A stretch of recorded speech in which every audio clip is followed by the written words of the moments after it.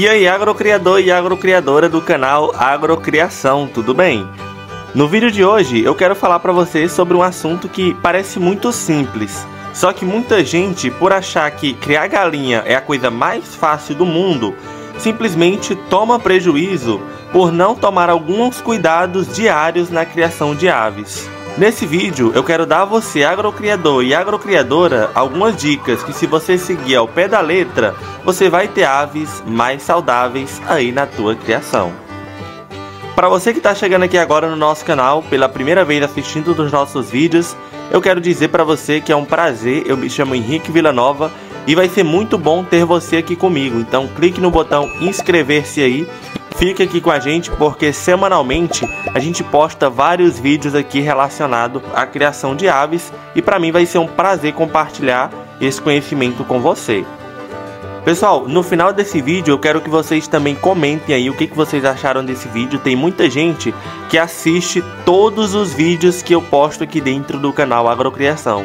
Mas às vezes não gosta de comentar, às vezes dá aquele like, mas não comenta. Mas pessoal, vamos fazer um desafio?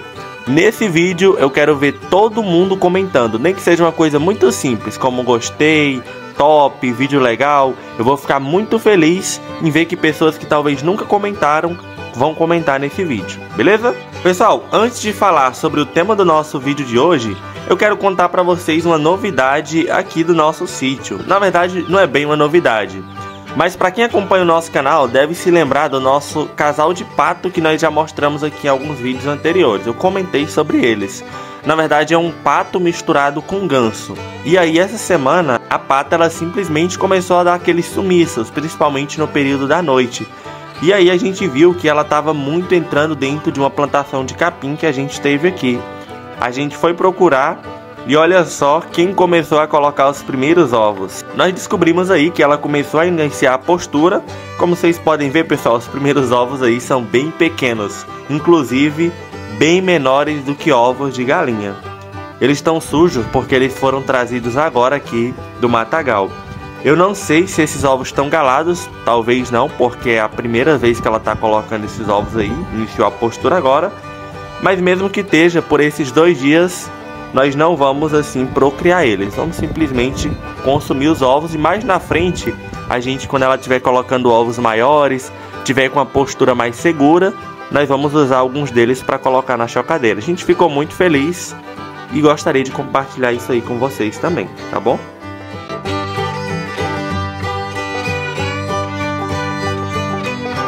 Agora sim nós vamos falar sobre aves saudáveis. A primeira coisa que traz muita saúde às aves é bem óbvia e está relacionada assim à alimentação das aves. É preciso garantir que as aves elas comam alimentos que tragam para elas os nutrientes necessários para a boa saúde da galinha, da ave, da codorna, seja qual for a ave que você esteja manejando aí. E uma ótima forma de fazer isso é você dar a ela alimentos variados. Por exemplo, você dá ali uma ração de crescimento, ali dentro tem vários nutrientes. Mas o que, que nós costumamos fazer aqui? Aqui, pessoal, nós guardamos restos de comida em um recipiente exclusivo para dar às nossas galinhas. Alimentos como resto de arroz, casca de melão, casca de mamão, de manga, alface, tudo isso é muito nutritivo para as aves. E nós levamos para o sítio, armazenamos, claro, você tem que armazenar de uma forma que fique segura e não pode demorar muitos dias aí para poder dar para as aves, porque senão se estragar demais ali, ficar aquela coisa podre e tudo, pode prejudicar as tuas aves. Depois vamos dar para as aves e elas gostam muito. Elas avançam em cima aí, como vocês podem ver. Além de se preocupar bastante com a alimentação das aves, é importante que você se preocupe também com os recipientes, os bebedouros aí os bebedouros, muito rápido, eles criam aquele lodo. Não sei se vocês já observaram, mas se você pegar aí no fundo do, do recipiente e passar a mão, vai estar tá bastante liso. Se você passar dois, três dias, quanto mais tempo tu passa, mais liso vai ficar o fundo do, do recipiente do bebedouro ali. E aí daqui a pouco vai estar tá criando lodo e aquilo ali é um prato cheio de doença para ave. Então diariamente você precisa lavar bem o bebedouro das tuas aves aí. No galinheiro é importante que as tuas aves elas possam tomar sol ali mesmo que por certos períodos do dia. Além disso, é interessante que elas possam ter espaço suficiente para andar e também para dar aquela ciscada. Esses dois fatores, pessoal, é o que vai evitar sim o atrofiamento das aves. Se ela não tomar sol, se ela não conseguir ter espaço suficiente para fazer aquela caminhada, para ciscar, para tomar aquele banho de terra, é bem provável que as tuas aves vão ficar atrofiadas. Ah, Henrique, mas aqui eu não tenho esse espaço. Talvez você possa soltar a ave aí por meia hora, uma hora aí durante um período do dia e depois você prende, pelo menos para ela não ficar atrofiada. É importante também que você evite pouco espaço para muita ave. Se isso acontecer, não vai demorar muito e as aves vão começar a machucar umas às outras. Claro, em boa parte das vezes está relacionado à alimentação delas, que tá, não está sendo balanceada da forma correta, por isso elas passam a beliscar umas às outras. Mas mesmo com a alimentação perfeita, se elas ficarem muito aglomeradas, as galinhas mais adultas, os galos, os machos ali vão estar tá beliscando os pintinhos, os frangos e daqui a pouco vai estar tá todas elas despenadas. Mesmo que elas não comam a pena, ela vai arrancar e jogar fora. E aí umas aves vão estar tá machucando as outras por falta de espaço suficiente. Outra coisa que eu costumo fazer para sempre ter galinhas saudáveis aqui no meu sítio, no meu criatório, é abater as aves mais velhas. Fazer isso, pessoal, evita que o meu galinheiro ele fique assim aglomerado de aves da mesma linhagem sanguínea.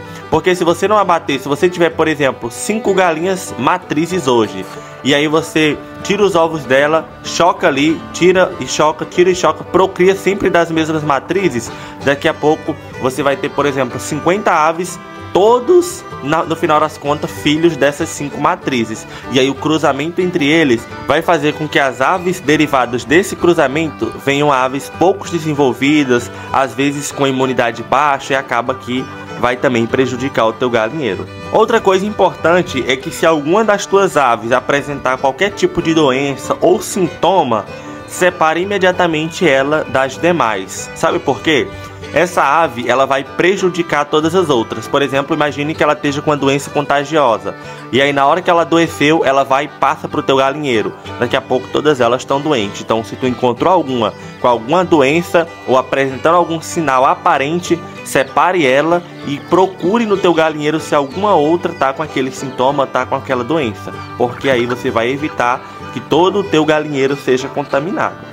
Eu já vi muitas pessoas simplesmente desconsiderarem essas dicas, como eu falei no início do vídeo, por acharem que criação de aves é a coisa mais fácil do mundo, que é só jogar a galinha no quintal e tá pronto. Ah, Henrique, mas eu já vi galinha que se alimenta do esgoto e, e sobrevive. Aqui na minha rua tem muita gente que faz isso.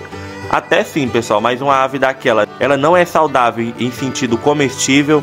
Muitas vezes aquela ave ali tem muitas doenças, o corpo dela criou uma imunidade, mas se jogar aquela ave junto com outras, ela vai passar algum tipo de doença para as outras e talvez a conta venha mais tarde. Aquela galinha está saudável aparentemente agora, mas aí daqui a alguns dias, algumas semanas, talvez aquela ave apresente algum tipo de doença. Então são dicas simples que eu trouxe nesse vídeo, mas eu já vi muitas pessoas, pessoal, literalmente desistirem da criação de aves porque não seguiu algumas dicas como essa e aí depois todas as aves começaram a adoecer. Todas as aves começaram a apresentar sintomas de atrofiamento, não desenvolvia, não iniciava postura, vários outros problemas. E aí a pessoa simplesmente desistia da criação de aves. Eu não quero que isso aconteça com você, agrocriador e agrocriadora. E é por isso que eu trouxe essas dicas. Mais uma vez, se você é novo no nosso canal e gosta de vídeos de conteúdo como esse, eu te convido a clicar aí no nosso canal, assistir mais vídeos. A gente fala de tudo que você imaginar: pintinho, ovo, galinha. Vai ser muito bom ter você conosco acompanhando o nosso canal, beleza? É isso, pessoal. Tamo junto. Obrigado a todo mundo que chegou até aqui e nos vemos no próximo vídeo.